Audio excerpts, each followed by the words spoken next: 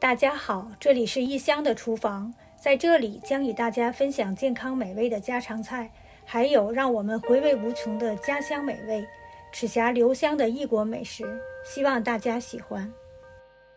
今天要跟大家分享的是家常熬鱼。家常熬鱼是我们家乡最普通的一道家常菜。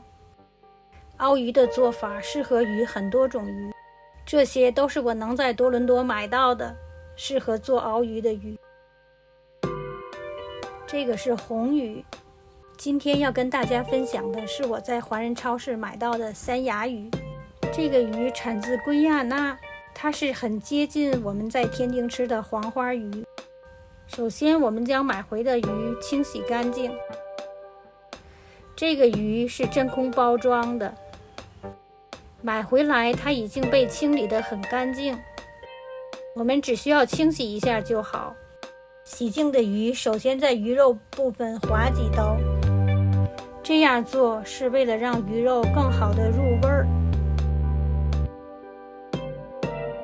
还是放在板子上比较安全。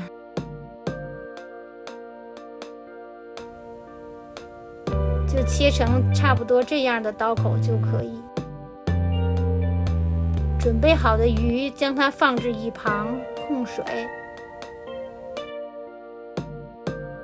现在切一些熬鱼的佐料，葱姜蒜是必备的。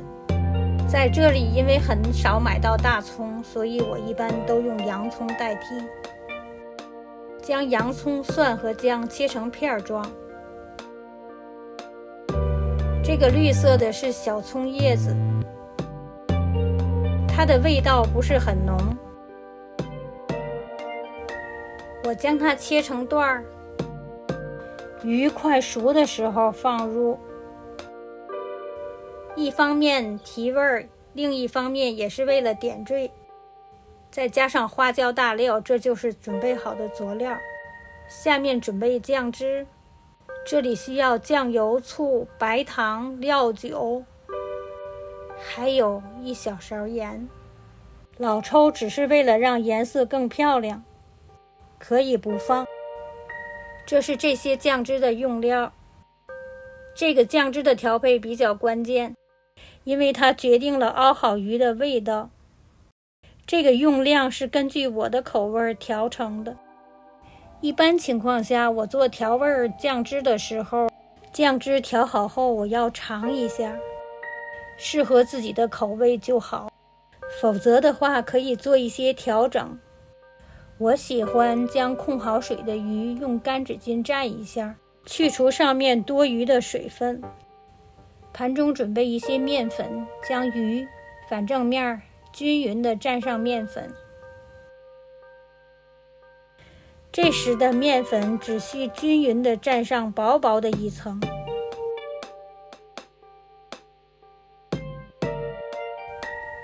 这样的话，在煎鱼的时候就不会有多余的面粉掉入油里面。这样也是为了去除鱼上面沾上的多余的面粉。现在都准备好了，可以开始做鱼了。锅中放入两大勺油，将沾好面粉的鱼放入锅中煎一下。用不粘锅做这道菜。不需要用很多的油，鱼也会煎得两面金黄，很漂亮。鱼煎的差不多了，将准备好的佐料放入锅内，再将准备好的酱汁和匀，倒入锅内，然后再加入适量的清水。清水和鱼在一个平面就好。这时要开大火熬鱼，同时也收汁入味儿。这时我常想起记忆当中老人传下来的一句话：“紧锅鱼，慢锅肉。”这是说熬鱼用大火，炖肉用小火。汁收的差不多了，放入切好的青葱段儿。一点紫洋葱做装饰。鱼熬好了，出锅装盘了。